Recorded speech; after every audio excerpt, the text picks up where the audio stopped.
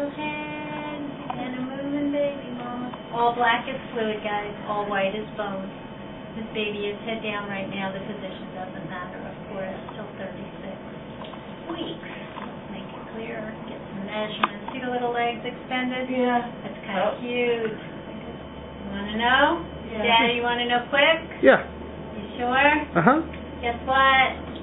got a brother in there. Yeah. All right. cool.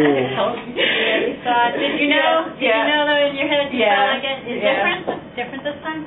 And no, there hasn't been a whole lot of difference in the pregnancy, but like I had an ultrasound at nine weeks, and when I saw the, the baby on the ultrasound, it's Just like felt like a boy. Just knew. so interesting. That is a boy. Yeah. That's a scrotum yeah. Congratulations. Let's make sure he looks good. Yay!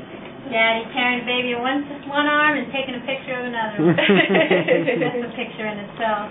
That's his thigh bone. You're 19 weeks, 4 days by the date you gave us. I am going to try and prove it. These are little knees, the feet are crossed at the ankles.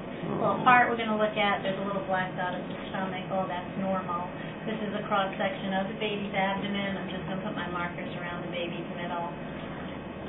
Or the abdominal circumference. Good.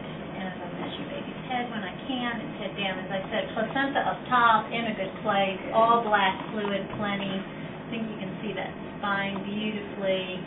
The umbilical cord looks like a bunch of bubbles, and through that cord run two arteries and a vein. So we love to see three circles. You can actually kind of see it. Yeah, little hands right there. Mhm. It's got skin. It's perf. The skin is so